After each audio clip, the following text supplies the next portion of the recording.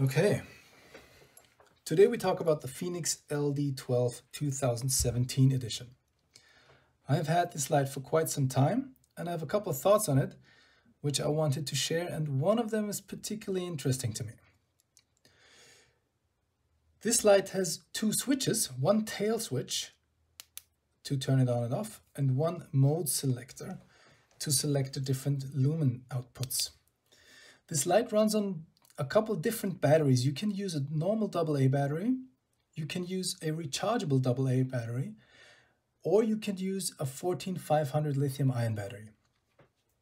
Depending on the different battery types, you get different run times, but more they are in the same ballpark. So on low, you have five lumens and you get around 50 hours. On medium, you'll get 30 lumens, which will last you about 10 hours. On high, you get 70 lumens, which will last you 5 hours. And now on turbo, you get 150 lumens, that is on the AA battery or on the rechargeable AA battery. And on the 14500 battery, you would get 320 lumens. I can't show you that because I don't have a 14500 battery right now. But that will last you around one hour. On uh, both batteries, I should say. So on the 14500, you get 320 lumens for one hour. And on the double A's, you get 150 for around one hour. Here are a couple of shots outside where I hope you can see the, the, the, the throw distance a little bit and the spill of the light.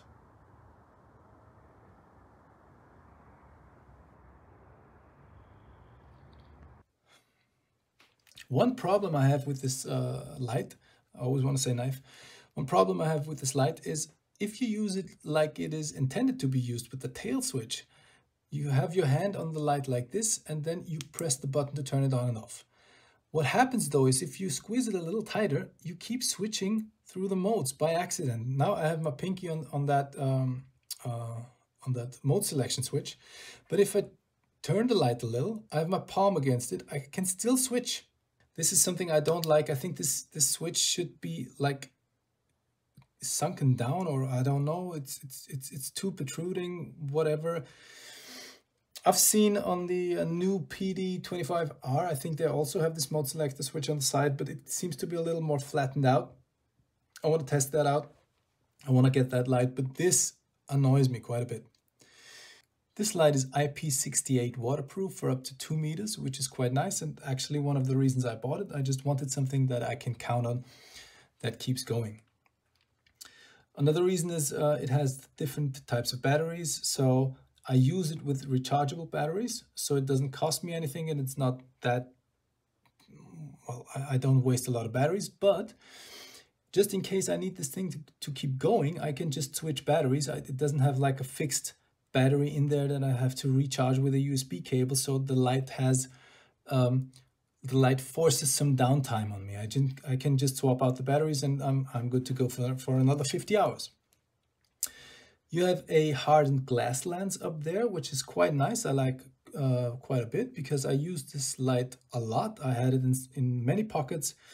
It held up very nicely. I have no scratches whatsoever on the lens.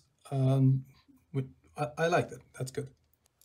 Another reason I bought this light is um, Fenix says this has the Cree XPG2R5 LED inside here. This LED is rated to have a lifespan of 50,000 hours. And again, that was something I was looking for when buying an EDC light, uh, something that kept going. And so far I have no problem with that, unless you have a second one. I have two of most of the things I carry daily because, you know, two is one, one is none. And this is a problem for me. Uh, or I think, I don't, I don't know. Uh, are those different LEDs inside? I've contacted Fenix about this and I haven't received an answer. I took both of these lights, well, I, I, didn't take them apart. I just looked very closely at all the parts as far as I could, at the circuits inside and they seem to be identical. The only thing that differs is the beam color. And um, it kind of bugs me. I don't know. They, they, they advertise neutral white color. So they advertise the color of the, of the LED. And, and This is clearly not the same. However, let's assume this is this Cree XP2G blah blah blah 50,000 hours lifespan. Okay. I like the light. I think I like the clip.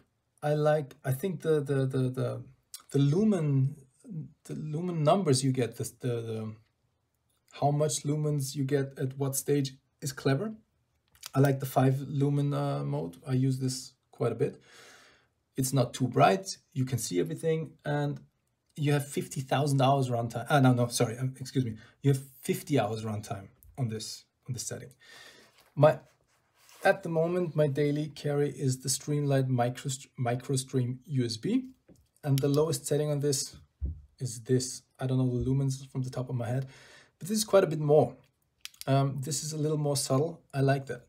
You have a longer runtime, you can switch batteries, etc.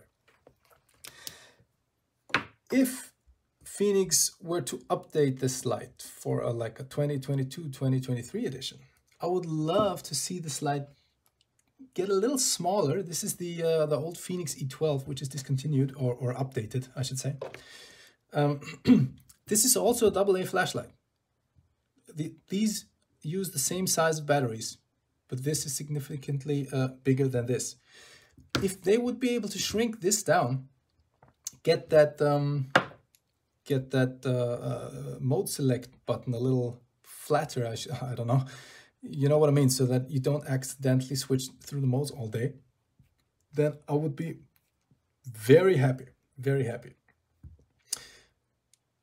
As it is right now, I have to say, I, I, I try to carry it daily. It doesn't come with a pouch. I think that the, the next Fenix I want to check out is the PD25R, which seems to have a little, that the mode selection switch is a little more flat, I believe. And it comes with a pouch, so you can carry it on your belt. This doesn't come with one, and is it's a little bulky to have in your pants, and it's too big for my Leatherman uh, sheath. Uh, so at the moment, my daily carry is the uh, MicroStream, which I like quite a bit. But I would love to see this updated to, to, to, to fit my needs a little better. Thank you for watching. Let me know what you think. And I'll see you next time. Bye.